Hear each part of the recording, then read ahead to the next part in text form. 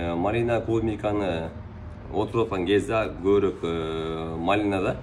фитоспорин деген мондай дарыбыз бар. Фитоспорин м деп коет фитоспорин к деп экиге бөлүнөт а могул эмде кошумча витаминдер менен болот булчу анан бул жерде көрсөтүлгөндөй өзүндө сегиз тогуз түрлүү коз карындык илдеттерди алдын алуучу жана э, малинада көп кездешкен тамыр чирик корневая гниль же болбосо баягы бизде дидимела деп коет ошол дидимела деген ооруларды фитоспорин алдын алып берет муну кандай колдонобуз колдонуу нормалары мисалы могу турган пачкада эки жүз грамм болот эки жүз грамм бул болгону жүз литр сууга он литр сууга жыйырма граммдан кошуп малинаны отургузаардан мурда тамырын ошол сууга он литрге жыйырма грамм коштуңар анан ал жака малинанын тамырын салып эки саат үч саат төрт беш саатка чейин таштап койгула ал жерде малина өзүнө тамыр керектүү жанагы оорунун баарын алып булар ал жерде козгоонун илдеттерин баарын тазалап андан кийин отургузгандан кийин ошол малиналардагы тамыр чириктер дидимела фитофтороз мучнистая роса деп коет толтура түрлөр оорунун козгардын илдеттеринин баары жок болуп бул ооруну алдын алуу максатында колдоносуңар кошумча дагы кийин отургузгандан он күндөн өткөрүп он беш күндүн ичинде дагы муну капельный система менен дагы бир жиберип койсоңор болот анын максаты топурактагы калып кеткен жанагы оорунун патогени оорунун грибокторун бүт баарын тазалап берүүчү бул фитоспарин болот а го карневин жөнүндө дагы бир айтып койбойсузбу бул стимулятор деп айтып коюшат экен э негизи э бул карневинди стимулятор деп айтып атат көп эле дыйкандар бул карневин боюнча маалыматы бар баарында эле дыйкандарда бул мисалы кандай гана көчөт отургузбасын дыйканчылык жаңы баштап атканда эле бул карневинди өзүндө жазылып турган стимулятор карней тамыр системасынын кубаттандыруучу тамыр системасын жакшы өөрчүткөн бул карневин болот бул колдонушу кандай болот бул пакетте он грамм болот он граммды бул болгону он литр сууга эле кошот андан кийин ал жака тамырын салып коет бир саат эки сааттан төрт саатка чейин тамырды чылап андан кийин ал жака отургузуп ашып калган суунун тамырынын астына эки жүз грамм ар бир көчөткө куюп койсо да болот муну дагы бир суроо бар эле могу экөөнү кандай кылыш керек? Например экөө тең отурзаардын алдында тамырга чылаш керек да мунучу чогуу чылаган болбойт э экөөнү отдельно э ошондо болгондо ар кандай тазиктерге салып суу ушул нерсени эске алып кетиш керек. Мисалы көпчүлүк дыйкандар суроо берет да бул экөөсүн анда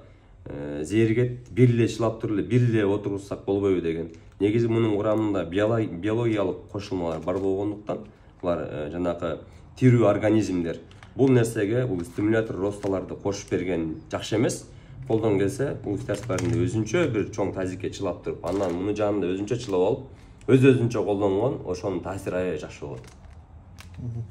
жок могу фитоспорин чын эле жакшы экен максат эке могу кийин дагы мисалы жана дидимейла деген малинада аябай көп да грибковый заболеванияларчы ошого колдонсо болгон жакшы экен да то есть он беш күн сайын профилактика катары жүргүзүп турса малинасы чирип мындай өлүп калбайт да э ооба бул мисалы малина өстүргөндөрдө эң көп кездешкен бизде деле келип аткан биздин практикада болот кээде поляга да чыгып көрүп келебиз дидимела деген оору болот. Ал оорунун тамырынын астынан жабыркатып тамыр системадан стволдон ошол он беш жыйырма сантиметрге чейин жабыркатат да анан уже куурап и жок болуу коркунучуна туруп калат да. Антракноз деген оору бар мучнистая фитофтороз ошол ооруну мисалы кийин малина жазда көктөгөндө деле. Көктөгөн кезде он төрт күн он беш күн сайын алдын ала бул фитоспоринди жалбырактан чачса да болот. Мисалы жалбырактан чачканда бул турушу эки жүз литр сууга кошулат дагы кээде мындай болуп калат бышып аткан кезде эмне кылабыз бул фитоспоринди колдонуп алсак эмне болот канча күнөн теребиз срок ожидания деген бар чачкандан кийин канча күнүн күтөбүз фитоспорин мисалы чачылды. Чачылгандан кийин бир суткадан кийин бышып турган малинаны терип сата берсе эч кандай кишинин организмине зыяны жок анын ошондо он сотыйга канча сууга чылаш керек муну бул пакет болгону эки жүз литр сууга гана кошуп берилгендиктен мисалы он сотый жерге могудан беш пакет алты пакетке чейин кошуп иштетсе мунун таасири аябай жакшы болот негизи өзүндөгү инструкция боюнча төрт жүз төрт уштук мындан он сотыйга кетиш керек. Бирок беш пачка алты пачка колдонсун бул практически иштей турган норма ошондой болот муну короче дыйкандар мисалы октябрь ноябрда тигет да көчөттөрдү ошондо.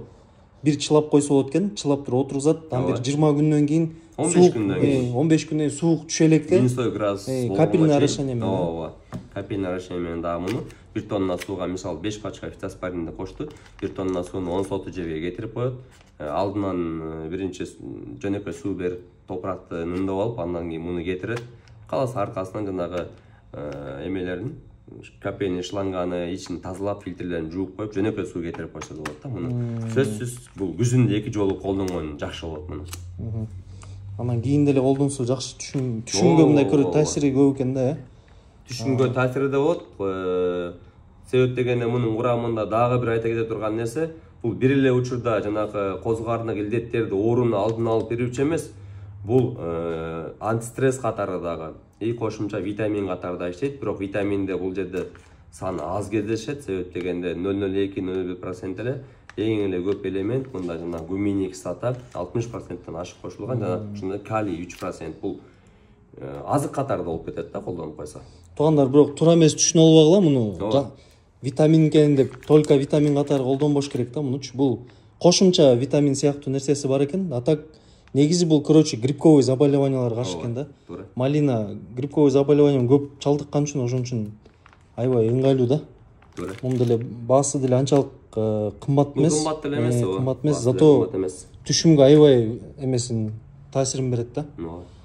макул анда максат эке чоң рахмат. Кичине ийгилик Рахмат. ийканга береке. Э Все, хорошо.